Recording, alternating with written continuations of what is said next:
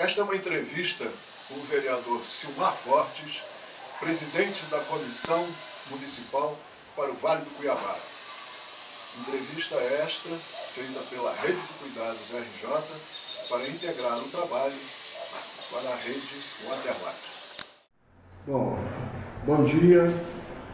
É, essa é uma filmagem que vai compor uma, um, um trabalho que vai ser divulgado no site da Waterlat, que é uma rede latino-americana que tem como foco de preocupação o que vem acontecendo hoje com a água no planeta. Eu sou Luiz Henrique, sou gerente executivo da ONG Rede de Cuidados. A gente tem uma preocupação e vem trabalhando desde 2008 ah, com emergências e desastres. Estou aqui hoje com meu amigo vereador Silmar Forte, que também é o presidente da Comissão Municipal para a Reconstrução do Vale do Cuiabá e adjacências. Queria começar perguntando ao Silmar, Silmar, você enquanto presidente dessa comissão, o que, que você pode nos falar que você constata através do trabalho de vocês na comissão nesses dois anos depois da tragédia de 2011? Bom dia, obrigado pela sua disponibilidade. Bom dia, Luiz. É, quando aconteceu a tragédia no Vale do Cuiabá, é, foi feita uma CPI. E essa CPI no final, ela concluiu que fez algumas, em torno de quase 40 recomendações. E nós sabemos que, às vezes, isso fica dentro de uma gaveta ou não tem continuidade. E eu fazia parte dessa, dessa CEPIM e achei importante a gente dar continuidade a, a, a, essas recomendações, que era, por exemplo, a questão da habitação das pessoas, do posto de saúde que foi é, alagado, é, as vias, as pessoas que perderam tudo, e o rio, né, desassoreado, pontes. Então, e foi todo mundo houve um consenso e nós abrimos essa comissão especial, chamamos assim, para dar continuidade às recomendações da CEPIM. E eu entendo, ela tem sido hoje muito importante, porque é onde as instituições se reúnem, o Ministério Público, associações de moradores, e hoje ela,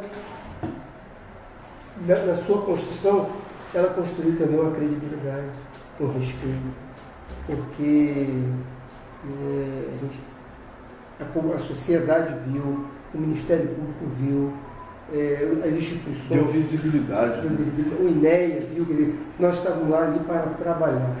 Às vezes, quando você abre uma, uma comissão, as pessoas. não vai dar em nada, vai, vai ser uma coisa burocrática. Vai acabar em pizza. Vai, acabar, vai ser político o tempo todo. E as pessoas viram que ali era um lugar de trabalho as pessoas tinham que trazer resposta e a gente está nesse processo né, há três anos. O que, que você acha que, que avançou? Olha, no primeiro momento, Luiz, o que, que aconteceu? É a relação de poder.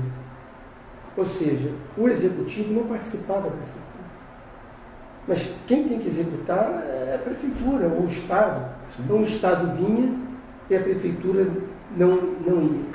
No começo do, do governo agora, do, do Rubens Bom Tempo, é, o executivo pa, passou aí e tem uma representação.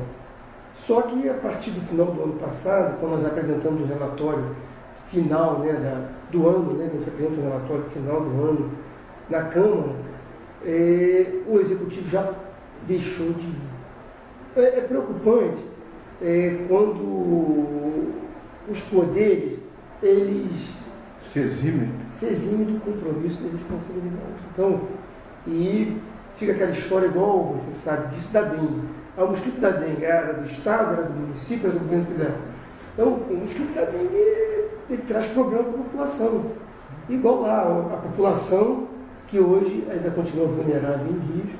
E quem tem que dar resposta é o executivo, é o legislativo é o judiciário, tem ações no Poder Judiciário, por exemplo. Recente terça-feira passada nós fomos visitar uma comunidade que, de 21 famílias que elas, eh, quem tinha bem social perdeu, só uma família pôde ter sua casa, lá na, no condomínio do Capla, e as outras não sabem o que vão ser da vida delas. Porque o INEA falou que é uma área particular e não tem como ajudar. E essas famílias hoje estão o quê? Com familiares em outros? Então estão lá no mesmo lugar, que é um local de lixo, que é na faixa, vamos dizer, vermelha, na faixa de limite do, do rio. Qual o nome da comunidade, Silvana? É, Borges, Borges. comunidade de Borges.